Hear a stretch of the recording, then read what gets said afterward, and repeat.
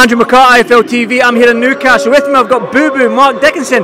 Mark, you wanted the big performance, you want, you needed the big performance, and you got it. How happy are you? I'm, uh, I'm over the moon. But um, thank you, man.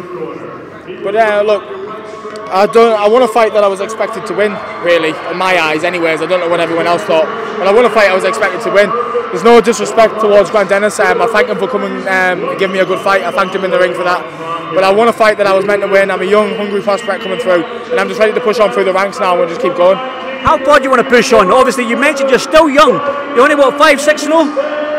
Six and all. So you still need to learn. You don't want to get pushed too far. What kind of opponent are you want next? Obviously, you want to step up, but I think Sam Jones and everybody like Eddie they need to maybe get your opponent that isn't going to that world level just yet. To, to, be honest with you, that was an English title eliminator, so I want the English title next. Um, I think I deserve it after that performance.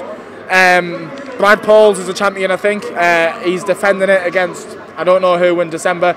So whoever wins that fight, I want you next. Um, nothing against you, but you've got something that I want, and um, it's mine.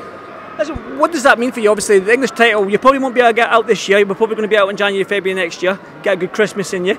Um, that English title, though, you, are you going to be at that fight with Brad Pauls? Are you going to be there? Are you going to watch on TV? Are you going to cause a ruckus, maybe? Um, I have never really thought about it, to be honest with you. I was just. The reason I ask is because you, almost, you caused a little bit of ruckus at that press conference, which is, is something I've not seen from Mark Dickinson before. Look, it's a fight, isn't it? Do you know what I mean? Uh, it's a fight at the end of the day. We're making weight, we're both fighters, and uh, it gets a little bit heated.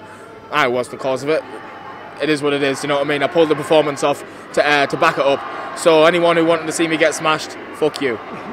Eddie Hearn has said to me this week and uh, two weeks ago in Liverpool that he wants his young fighters to show him something, to give him something, not just on fight night. The knockout's good, but he wants more. He wants the press conference, what you did at the weigh-in. Yeah. Do you think you've shown that, Teddy? Uh, look, I think everyone's seen a little bit of uh, a little bit of the real me this week. To be honest with you, um, I'm a bit of a hothead uh, when I get started. You know what I mean? I'm, I'm quite a laid back person really, but I've got a bit of a sharp temper, and um, I come out this week uh, and Grant paid the price.